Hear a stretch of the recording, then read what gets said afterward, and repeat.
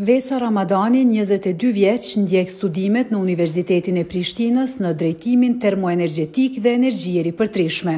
Unë kam zgjedhë inxhinierinë, prej fëmijërisë kam pas prirje për matematikë edhe landët e tjera që lidhen me shkencë dhe rrjedhimisht për Për profesion kam dashur që ta kem inxhinierinë pikërisht.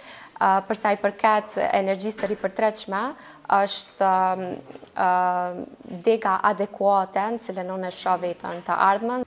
Ka pesë muaj që Vesa është angazhuar në punë praktike në kompaninë Elen, e cila ofron shërbime e prodhime në fushën e elektroenergjetikës. Një mundësi e tillë i është ofruar në kuadër të projektit Gratë në Energji i Korporatës Sfidat e Mijëvjeçarit, që synon shkollimin dhe punësimin e vajzave në këtë fushë. Kompania Elen më ka dhënë një mundësi që të kyçem dhe të shoh se si shkon puna edhe në anën praktike, pikërisht në fushën e energjisë. Vesa është një nga dyqind vajzat që projekti Gratë në Energji u ka mundësuar punë praktike në kompani të kësaj fushe në gjithë Kosovën. Njëra nga to është edhe Geldona Azemi, e cila është në përfundim të studimeve në drejtimin Matematikë Financiare. Jam rritur shumë mirë në mënyrë profesionale edhe kum mësu shumë gjëra, duke filluar nga ana e komunikimit me klientë deri te përpilimi i dokumentave të ndryshme Është një ambient shumë i rehatshëm i punës. Lulzim Syla, partner menaxhues në këtë kompani, thotë se mungesa e burimeve njerëzore ka qenë gjithmonë ndër sfidat më të mëdha.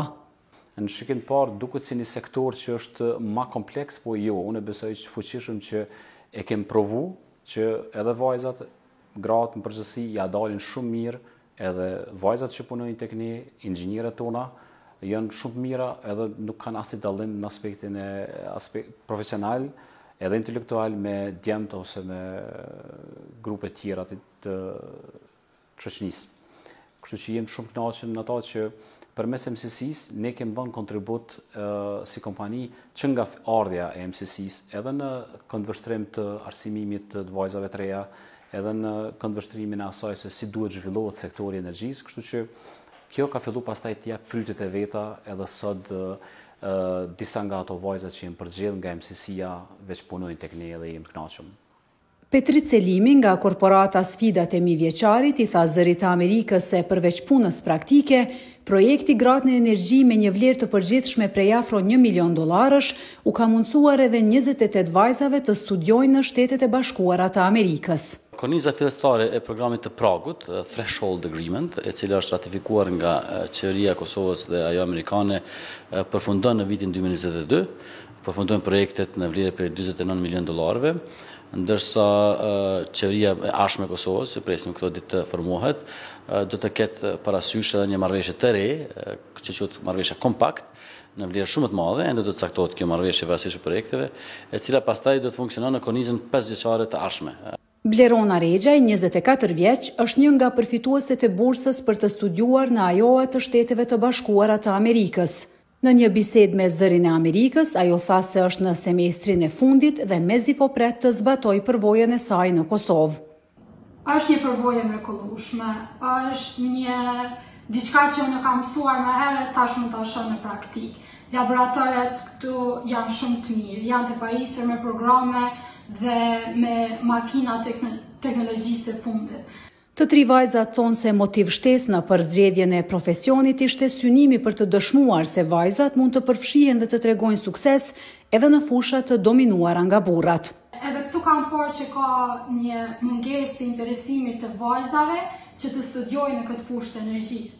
Madje ka pas raste ku ne kemi qenë të vetmet vajza në atë klasë, vetëm vajzat nga Kosova.